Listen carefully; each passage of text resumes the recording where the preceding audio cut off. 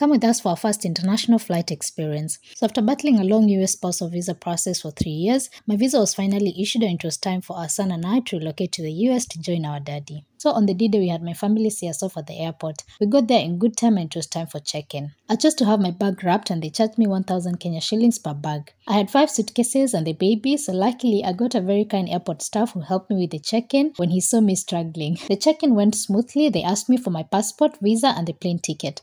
They also asked me for the address I'm going to in the US. After checking, I decided to go to the washrooms just to see what it looks like and I was pleasantly surprised to see a whole bathroom. Like you can land and shower. Wow. Now, for perspective, my son and I have been on a plane before, but domestically within Kenya. This first international flight made me feel like I've never been on a plane before. I was humbled, and the experience is so different. So, anyway, it was time to board, and we left Nairobi at exactly 1 a.m. We were flying Qatar Airways and the plane was massive. The seats are very comfortable. They do give you things to make you extra comfortable like blankets, socks, a pillow for your back and Mikey our son was given some toys and coloring materials to keep him busy. We were also served with food that I enjoyed but I ended up vomiting the next day. I don't know why. After five hours and some minutes, we landed in Doha. I was happy that I didn't have to go through immigration checks, so as a first time traveler, I would advise you use UAE Airlines to avoid the need for transit visas. They also offered to check in one of my hand luggage since I had two, so this made me more comfortable. It was finally time to board the second plane from Doha to Dallas, USA.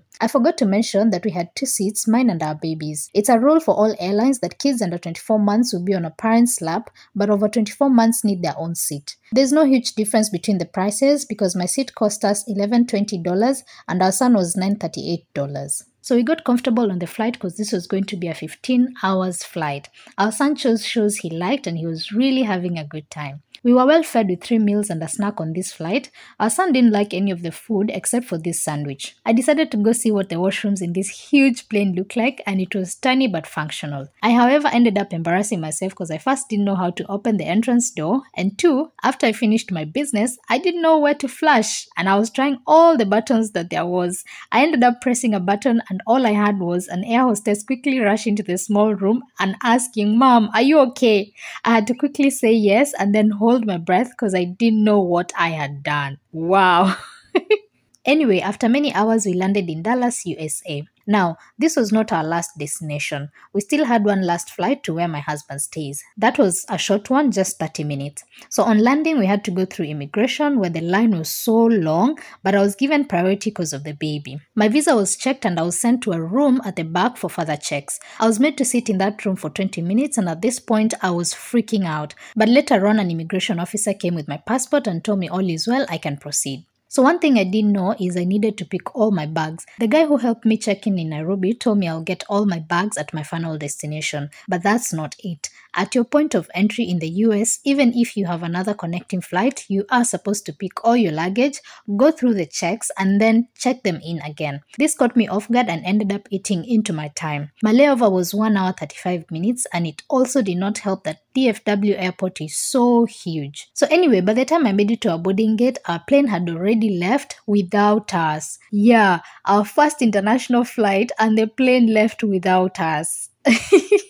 So they quickly booked us the next available flight, which was in five hours' time, and so they asked us to sit at the airport and just wait. I called my husband, who lives two hours from the airport, and he decided to just drive to come pick us up. We waited for him, and two hours later, he was at the airport. Remember, our luggage has left with the plane we missed, and it was kinda late to pick them, so we went home and drove to the airport the next day and found our luggage intact.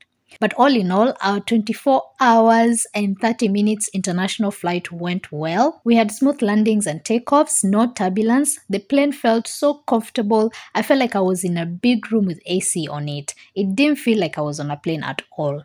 Share with me in the comment section how your first flight experience was. And if you're yet to experience this, I pray you do so soon. As always, remember to be kind to one another, love one another, and treasure every minute you spend with one another because tomorrow is not promised. Ciao.